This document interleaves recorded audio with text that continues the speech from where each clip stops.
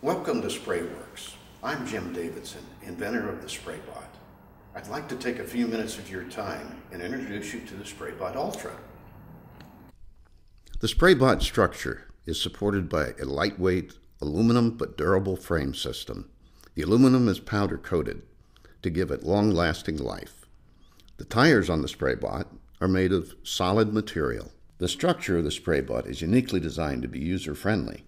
The spray head cart and rear drive wheel assembly come apart with a pull of a pin or spin of a wing nut.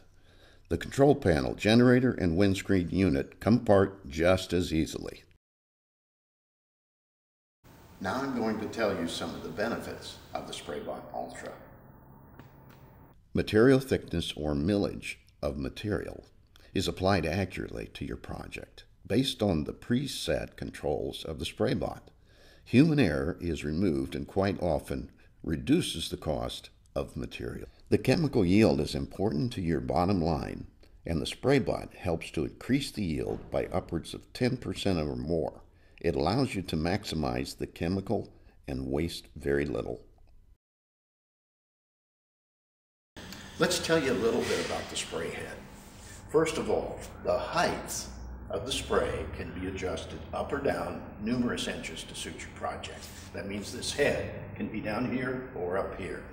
Almost any spray gun in the industry will fit on this machine. The width of your spray will be about six to seven feet, and that's continuous application in a nice straight line. To get to the inside for easy access, we've made a clamshell design.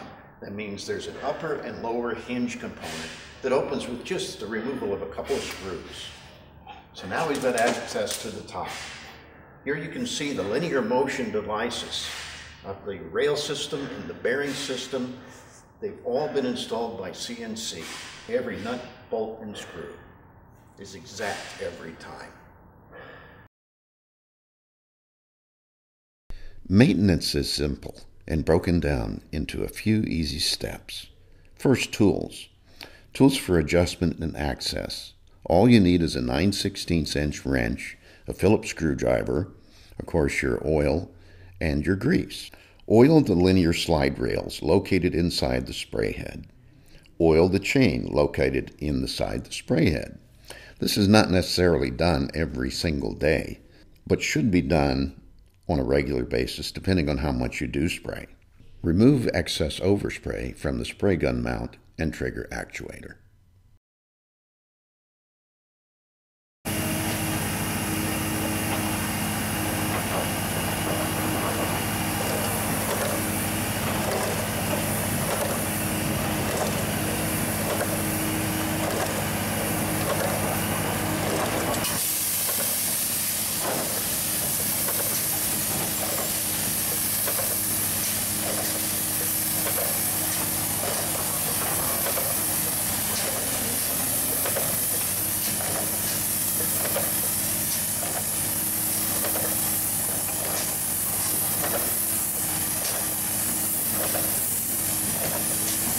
Thank